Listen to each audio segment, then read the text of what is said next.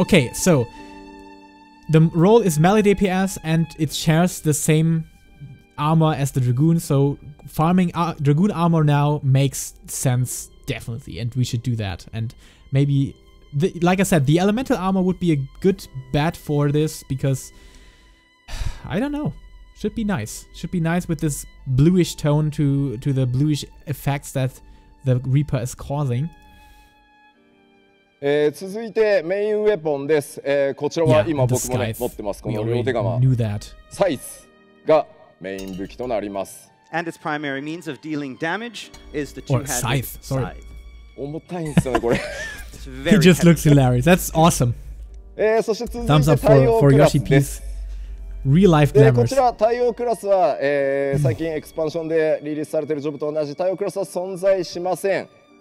And as is the case um, with most of our recent uh, job releases, there is no corresponding class. Yeah. I guess some something we we did already expect, right? Um, would be very weird if you would uh, throw something like a required or demanding subclass into the mix now and just have kind of leveling Lancer for being or becoming a Reaper. That doesn't make sense here, so. 条件ですが、暁月のフィナーレの権利を所持していることと、いずれかのジョブがレベル70になっていることの2つが条件となってます。All right, and there's uh, two ways to be able to, or there's two things you have to do to be able to play the Reaper. That's first, first you must have the Endwalker expansion, and second, you must have at least one job that is already at level 70. Okay, yeah, so much for the details. I guess that's that's everything we we did know already. えー、当然そうなってくるとですね、初期レベル、えー、初期レベルは70からスタートとなります。to learn the wheel to wield the scythe. You're right. さて、only gardeners can wield the scythe properly. もらってどんなねバトルのシステムがあってどんなイメージなのか気になると思うのでバトルのイメージにもちょっと触れていきましょう。Alright, and so in the, uh, the video that you just saw, you got to see the Reaper in action. Um, so we're going to touch a little bit upon how the Reaper actually fights in battle. まず基本的にリーパーはダイナミックな、okay, that's, that's exactly 攻撃を得意としています。What I'm interested about. That's and so as you saw, uh, th because this is a melee DPS character, they have a very dynamic uh, style of attack. まあこの両手釜による直接的 Okay, dynamic style of attack that means actually because it's he refers that to the melee role itself, it doesn't mean something special here. Uh, dynamic close quarter combat means that you're just rotating between all the positionals. I think that's actually nothing special. And I got this wrong uh, when I told this last time um, when we were in Bozja still. Uh, it means it's it's simply melee so far. I don't know. So the uh, main uh, source of damage is going to be coming from the scythe. Okay, the main damage from the side means um, who else is more side orientated? I, I'm not sure. I think Dragoon is kinda even on all of these side positionals. They they have he has rare and side positionals in in the same amount and Monk as well. I don't know. Yeah, I don't know what that means. It could be that he's more on the side and have less positional requirements than the other jobs because I think the other jobs are kind of even on all the positionals. What do you think? I think they also meant that it's also pet class, but instead of call out of the pets, it's using the pet itself to buff yourself. Uh, I, I guess that the pet is working like it works on the Machinist or the Dark Knight, or maybe in, in the most pet-like style, it would work like it's working on a summoner, like summoning Bahamut and using big attacks, or that it mimics your attacks on, uh, yeah, hitting GCDs, which is much more logical and easier to accomplish as a melee. But then we would have the problem, is there an AI following your thing? Because when we get an AI that, that follows like Bahamut, you have this disaster and this mess with, with dropping auto attacks. And that's something I hope they don't force us into with the Reaper and hopefully address that on the Summoner as well. Because these ghosting things, yeah, I think ghosting is the term, when you're just losing auto attacks because yeah, your the AI just couldn't keep up with your speed, with your pace or whatever. I don't know. I hope that they would change it. That yeah, and doesn't don't introduce that to the Reaper. Using the power of the Avatar tool. Uh, hope the Wrath is part of your character. Uh, buff your attack with no AI. Yeah, that would be the easiest way to accomplish that, like we have with, um, for example, the Dark Knight. Okay, the Dark Knight is not buffing your attacks, it's producing another set of attacks that is just randomly spawned or randomly attacking the enemies and throwing in AoE attacks. Uh, if you mean that they will buff your attack with no AI, then I guess it would be something special because all the the pets that we have in game right now are not are at least doing an, a known attack and a un, unique attack like the mech uh, doing this this strikes, these these blows and all that, and the Dark Knight is mimicking a set of randomized attacks that the Dark Knight has at its disposal. And yeah, the Summoner is just a mess of AI. Yeah, disaster. Dark Knight is just like uh, Dots, to be honest. Yeah, I guess, but it's still that the shade or the, the darkness shade is attacking. I don't think it's a pet, I think they're just skills or abilities like jumps or Midare. Uh, you, like you would think something like an upgraded version of normal attack when the avatar is called out. yeah, you're right, but I think um, we'll look that up after this one uh, in the presentation video.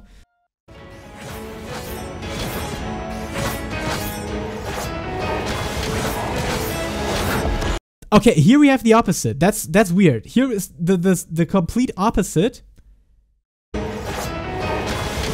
That's definitely another term. That is kind of more like uh, the the wrath is is supporting your attacks, like the Dark Knight does, or it kind of be a double-edged attack, like you attack and the wrath attack both, and kind of be your ultimate uh, attack or something that you you need energy points, gauge points for, or something like that.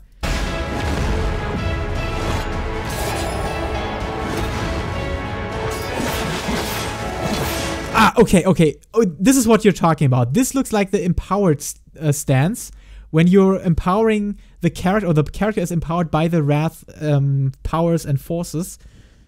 I guess that could be a stance difference. So you're using the Wrath attacks like Egi Assaults on the Summoner and also having this like contributing to your attacks. And you also have a complete stance where you're your wrath is kind of consumed and you're using the strength and energies of your wrath to get empowered. That's what you was were talking about, Saskaya. It really looks like the, the wrath is empowering the character here. Yeah.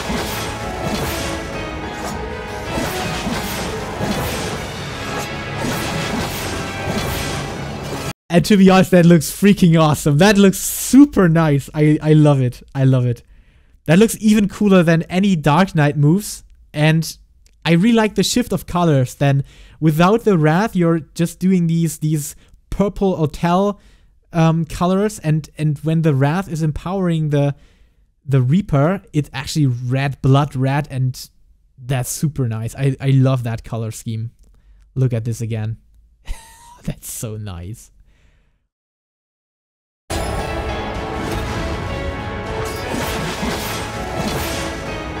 Oh my goodness. I also like that this is a threefold attack, threefold attack. I always like these because they they are so brutal and so uh, nice to to watch and, and especially when you're building up a gauge or something like that. Looks like a Falklee stance. Looks like uh, the same animation multiple times to me yeah, that's, that could actually be the case that they have some the mechanic like a Warrior or like the Dark Knight has right now, where you you kind of have a free cost, free of cost usage of all your strong abilities that are also uh, bound to this stance or anything.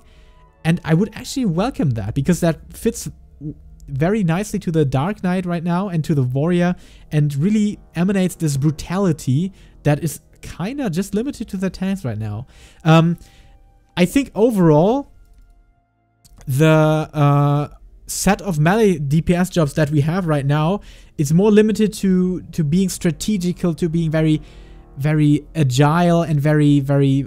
I don't know. It's it's more like they're missing this this brutality, the form of brutality. I know the punches of monks are, are very strong and very powerful, and samurai blades are kind of slashy and and cutting edge, but I don't know, the brutality is missing, and I think Square's maybe trying to get this Dark Knight and Warrior brutality into the DPS and melee roster.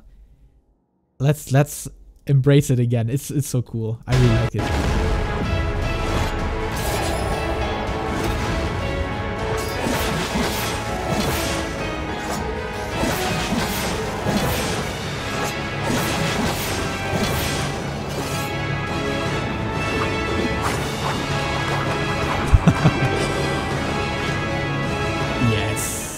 Yes, yes. Yeah, guys, I'm, I'm super hyped about the Reaper. I, I think we will see something, um, yeah, where you have these normal, ordinary attacks like these, for example, and then, uh, yeah, you, you will go into into the mode where maybe the, the Wrath is supporting your attacks and contributing to your attacks. And to be honest, this looks definitely like an Egi Assault. Look at this again. So, because, yeah, the Reaper itself is not doing anything. Oh, I like that. So, I, I'm actually a fan of Assaults, by the way. Because that could also mean, if you're having more stacks to use this, that you can have some range to your target. And that would be awesome. If that is a ranged attack, which I don't think it is actually because Square uses to be um, showing off ranged attacks on a clear range position. So for the job, if you remember the job trailer, when they show shown off that um, some classes or jobs have ranged capabilities, they perform these actions in a ranged proximity to the target. So it could actually be melee.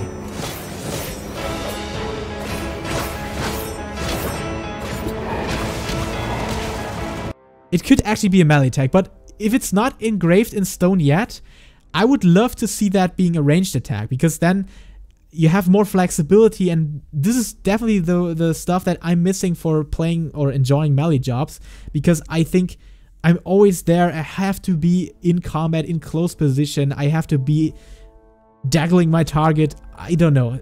It's not just my playstyle, and that would be awesome if you have a sort of break or you have some some resources or gauge stuff to do when you're not in close position. That would be awesome.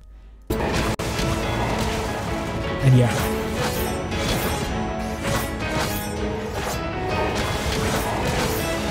And this looks like the mix and match stuff here. I don't know, maybe like like Enkindle or something. Um, oh, yeah, Enkindle is actually working on your your pad again, but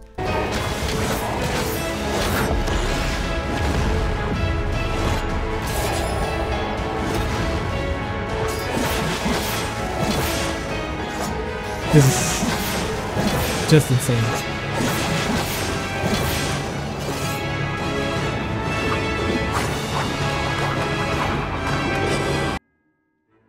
Using your stand to fight bosses, please give Reaper more raid utility than just feint. yeah, that would be nice as well, to see more utility coming to a melee job and not just uh, the simple simple smash in all damage and stuff. A battle raise for melee would be so overpowered. Oh, yes! Oh my goodness, that's that's the best idea, I, I guess. a race for a melee job, I would... Square. If you if you ever have the chance to see whatever we're doing uh, this video or turning this into a video, can you give the Reaper a battle raise? That would be so unique and so awesome. I would love to see that. It doesn't need to be the strongest among all the melee jobs compared to the samurai and stuff. But a battle raise for a reaper where you actually give back the the harvest souls, the, the souls that you harvested, I guess that would make sense. By the way, what do you think? The ether in Final Fantasy, we're talking about ether. So if the reaper is able to extract ether from from other creatures or uh, existences or the environment, I don't know how that works, and then giving it back would be cool. But of course, the, the simple Reaper... a race spell that is paid with Gil. that is cool as well. The idea is, is very really nice. Uh, but yeah, it demands a lot of, of Gil receiving before raiding then. But yeah, I would I would love to see a battle raise on on the Reaper to be honest. I would love to see that. Okay, let's get back into the presentation a bit more. Just for battle-wise, on the concept-wise of bringing in a very unique melee job that is actually unique on its role placement, that would be awesome. I know, these mechanics, this avatar is super unique from the playstyle aspect, but to be honest, unique, they are all unique. we have all special snowflake jobs, if, if you haven't realized that yet. But uh, from the role positional and the uniqueness of its position inside of the role roster, I guess that having a battle rate as the Reaper would be super awesome. I would love to see that. Because it's always this, uh, why don't you get a red mage or summoner for progress? You don't need to, to get your monk, get your samurai, ninja, whatever just stack your stack your group up with summoners and and red mages and you're good to go. That would be awesome if you can see reapers. I know the overflow of, of reaper players would be insane then, but I would love to see that. Let's be honest, that would be awesome. I would wish for battle raising melee job. Healer with guns and botanist with inner demon. Well, with the epilogue quest for the role quest, the giving back ether thing is not that much impossible. Yeah, I, I think that's the case. I think that's the case. Ether is just flowing all around us in, in Eorzea, and I think um, like the Ascians can can harness this this resurrection thing for themselves when we don't push them into into these elixirs, into these bottles, whatever. Um, then why don't we can do that? And I think we're talking about Zenos being the prime model, the iconic role for, for the Reaper, staring the Reaper in, in the story plot. So I'm not sure if he's just the death bringer. Maybe there's also a life aspect in his design. I'm not sure about that. Living Death side effect make healers work, but it has the undeath death feel. Uh, yeah, that could be a good idea that you actually have a downside at least. So like living that where maybe you raise somebody to 50% health, but the other 50% health has to be healed up by the healers. That's actually a very nice idea. I, I like that. That's really that's really good idea. Healing up 50% means they have some time to do it and maybe just throw out one powerful healing spell and they actually don't have to raise themselves and that's still giving them a lot of room and space to to do their stuff to deal damage to heal and because yeah hard casting a raise spell would take 10 seconds so that would definitely be cool. I would love to see that. There's like an equ equivalent exchange with ether see the end of eden's promise. Oh yeah you're right you're right. So it's possible. It would be possible and we would love to see a better race than the final pose here. The JoJo pose. yeah, um, yeah, when looking at the Reaper, I would love to see a battle raise being introduced by harnessing, harvesting the powers and the etherite, uh, the ether energy around ourselves, the environment, or enemy players, enemy enemies, enemy targets, whatever. That would be awesome and giving this life back to a party member.